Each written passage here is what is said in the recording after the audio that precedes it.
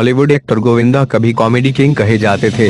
Cinema घरों में उनकी फ़िल्में जब चलती थीं, तो कई दिनों तक हाउसफुल के बोर्ड लगे रहते थे। लेकिन आज जब गोविंदा की फ़िल्म एक बार फिर रिलीज़ हो रही है तो बहुत कम लोगों को इसकी भनक है। गोविंदा और वरुण शर्मा की फ़िल्म प्राइड डे 25 मई को रिलीज़ होगी। रिलीज़ में सिर्फ़ एक दिन बाकी है और इसकी कोई खास चर्चा नहीं हो रही। पिछले कुछ सालों में गोविंदा बड़े पर्दे से जैसे गायब से हो गए हैं। उनके करियर का ग्राफ नीचे जाने के पीछे क्या बड़ी वजहें हो सकती हैं?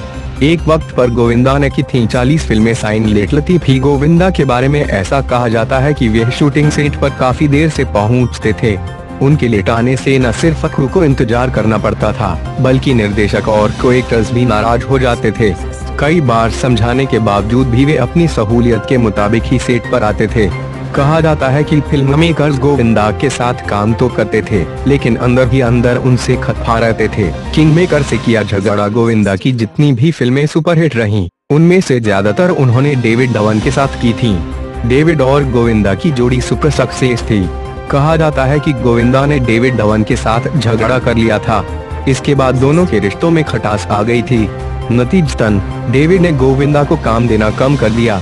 एक वक्त के बाद डेविड ने अपने बेटे वरुण धवन को फ़िल्में देना शुरू कर दी और गोविंदा गायब से हो गए। आलिया भट्ट के साथ फ़िल्म नहीं करेंगे। गोविंदा फिटनेस पर नहीं दिया ध्यान। आजकल के बॉलीवुड एक्टर्स न सिर्फ़ बेहद फिट होते हैं, बल्कि रोल के मुताबिक खुद को ढाल लेते हैं।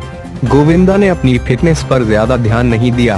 वक्त के साथ उनकी फिजिक खराब होती गई और इससे उनकी अपील में फ़र्क आया।